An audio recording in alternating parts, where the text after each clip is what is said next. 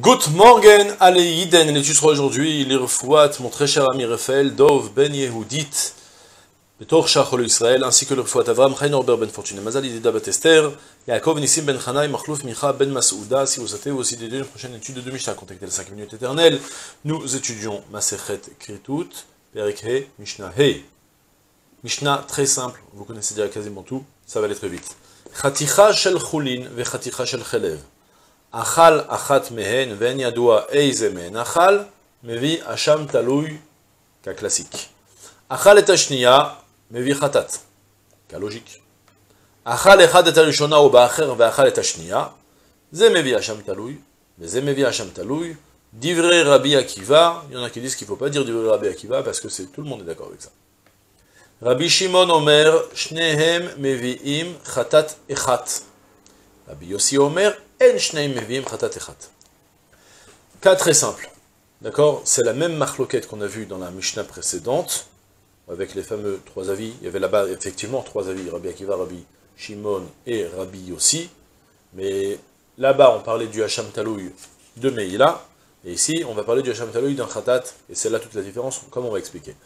On commence d'abord à traduire. D'abord, le cas classique, c'est Khaticha Shel Khulin et Khaticha Shel Khelev. Il y avait deux morceaux de viande devant lui un qui était choulin, un vrai morceau de gras classique de, son, animal, de sa vache, aucun problème dessus. Choulin, à la différence de la prochaine Mishnah, on va voir qu'il était, il y avait un cas de Kodesh. Ouais, la prochaine Mishnah va commencer en disant Shel Chelev, Shel Kodesh. Donc par opposition, on va dire quelque chose qui était, on va, on, va parler d'une vente qui était profane, qui n'était pas Kadosh.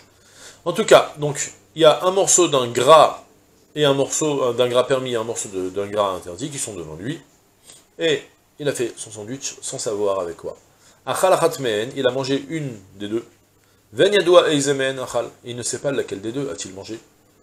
Mevi Hacham Taloui, il devra apporter un korban Hacham Taloui, le fameux korban Hacham que l'on apporte lorsqu'on a un doute, est-ce qu'on a transgressé ou pas. Lorsqu'on a transgressé une avéra soleil qu'on a passé dans un karet, que Beshogeg on doit apporter un korban Khatat, si on a un doute, est-ce qu'on a transgressé? On apporte un korban Hacham Talou. Ok? Comme ce qu'on a déjà appris depuis maintenant deux prakim en arrière.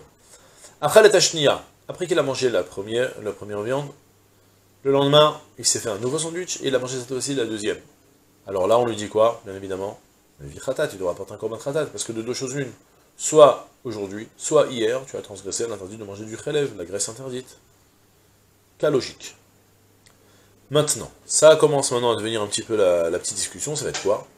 Achal echad et l'un a mangé un premier bout, il a fait son sandwich, et puis, deux heures après, c'est sa femme qui est venue, ve, elle est venue, elle a mangé le deuxième bout, elle a fait elle aussi son sandwich. Chacun était sûr qu'elle a mangé la graisse permise, ils se rencontrent le soir, ils disent, ah t'as fait le sandwich, mais attends, il y a un morceau de prélève, ah, on ne sait pas qui a transgressé, qui a mangé quoi. Alors la Mishnah nous dit bien, Zemevi Hacham Taloui, Zemevi Hacham Taloui. L'un apportera un korban Hacham Taloui, c'est-à-dire lui, il sait pas ce qu'elle a transgressé ou non. Est-ce qu'elle a mangé la graisse interdite Il apportera un korban Hacham Taloui.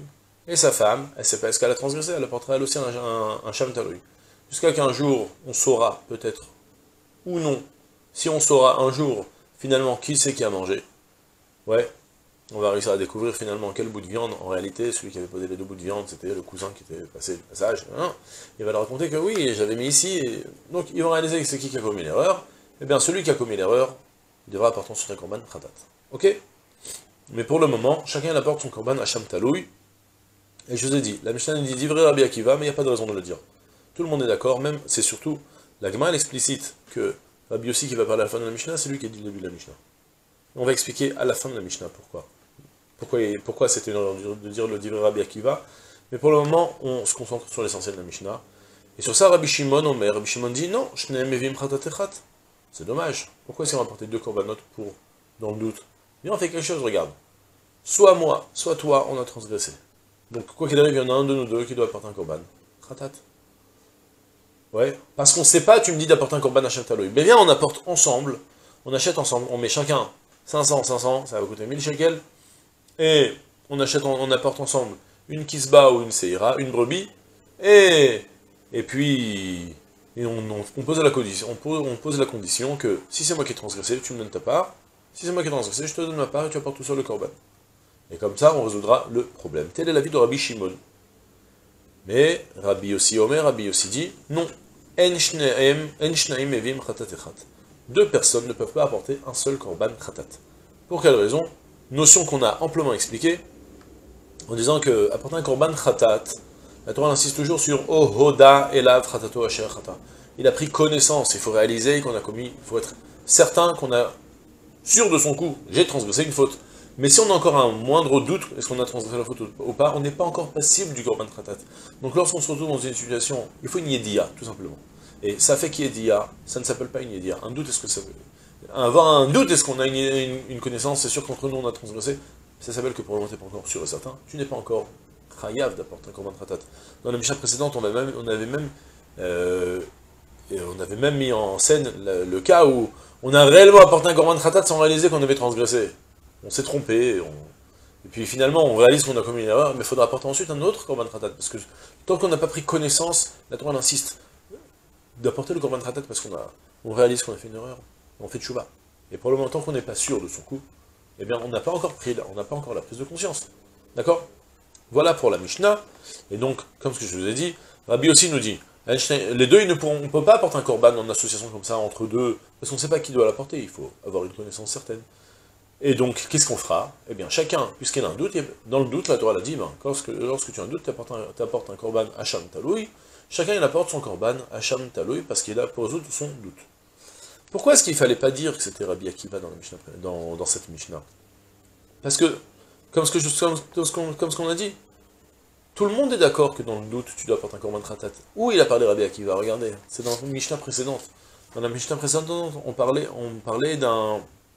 qu'il avait probablement transgressé un interdit de Meïla, il avait fait un sacrilège, il avait utilisé manger un animal euh, qui était kadosh, qui avait une sainteté dessus.